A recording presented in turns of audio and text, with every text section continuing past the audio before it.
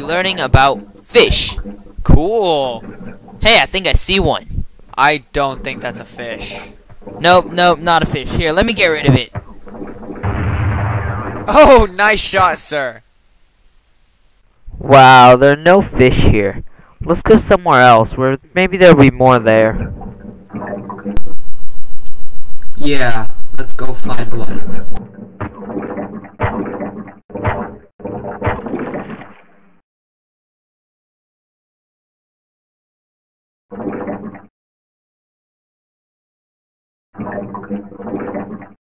Alright, let's just take our helicopter and go to the next location. Maybe there'll be more there.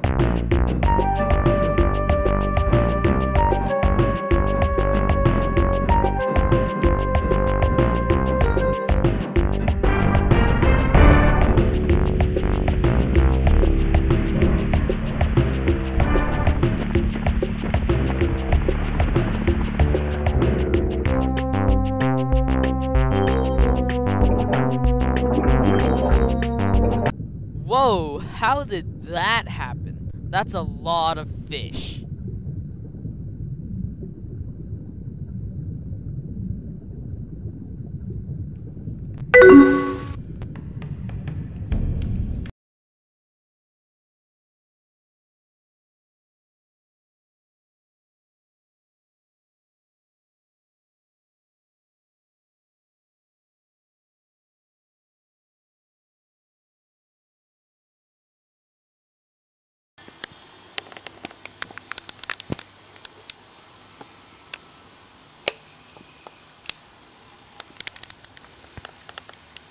Here's the scientist that will be talking with us today. Hello, Ivy the scientist. Today, uh, we'll talk about osteichthyes. Um, some examples of osteichthyes include herrings and lungfish. Herrings are ray finned fish, which means that their fins are made of skins with uh, webs of skin with bone spines as support. Uh, the lungfish are lobe finned, which means that their fins are shaped like limbs. Uh, the fish in the class of osteichthyes uh, can be omnivorous, uh, carnivores, or, or herbivores. Um, boy, I'm thirsty. How about you get me some water? Sure.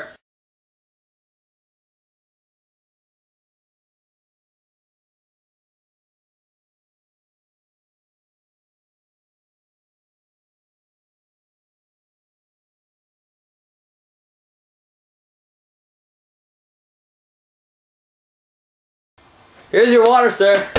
Nice throw. Uh, wait.